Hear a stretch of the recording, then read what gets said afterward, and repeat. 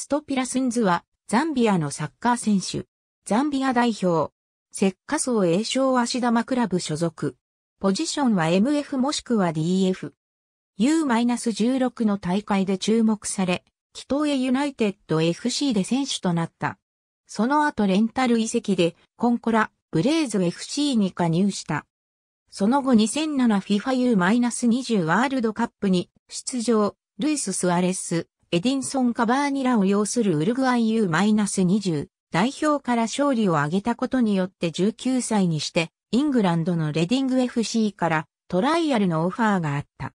クラブ側が長期契約を望んだほどの高評価を得たものの、労働許可が下りなかったため移籍は実現しなかった。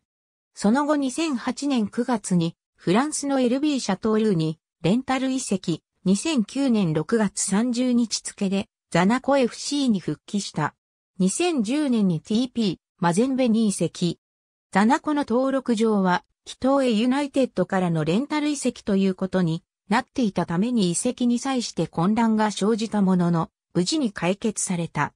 FIFA クラブワールドカップ2010では、初戦の CF、パチューカ戦で退場処分となった。2013年1月には、プレミアリーグに昇格したレディングから、再び契約を前提として、トライアルがオファーされ、すべての契約を保留にした状態で、アフリカネーションズカップ2013に出場した。レディングへの移籍は、彼の3年契約が2012年12月に切れて、自由契約での移籍との筋書きであったが、マゼンベの会長は、契約が2015年まであると述べ、彼の代理人を批判した。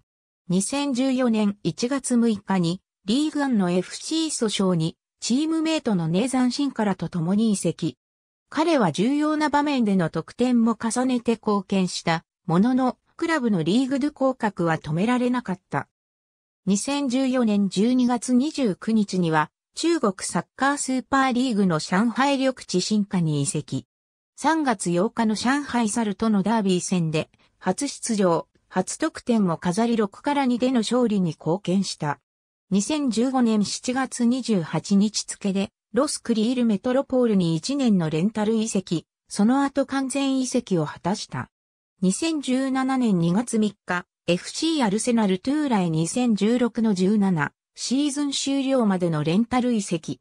7月に2017から18シーズン終了までの期限で再び移籍した。2018年7月9日、FC メスに2年契約で移籍。U-20 代表として 2007FIFA U-20 ワールドカップに出場した。A 代表初出場となったのはアフリカネーションズチャンピオンシップ2009予選のボツワナ代表戦であった。その後、アフリカネーションズカップ2012でのコートジボワール代表との決勝戦の PK 戦で優勝を決める最後のキッカーとなり、これによって一躍時の人となった。2013年10月には代表招集に関して、マゼンベガーガカレとレインフォードからは、ネーザンシンからの計3人を負傷を理由に招集を拒否した。この行動にザンビアサッカー協会が激怒、ザンビア政府も介入し彼らはルサカで旅券を没収された。その後、旅券は返還されたが、彼らはブラジル代表との親善試合の地である北京市に向かうことはなかった。父親のフェリックス・スンズシニアもザイール出身のサッカー選手で、兄のフェリックス・スンズもザンビア代表のサッカー選手。ありがとうございます。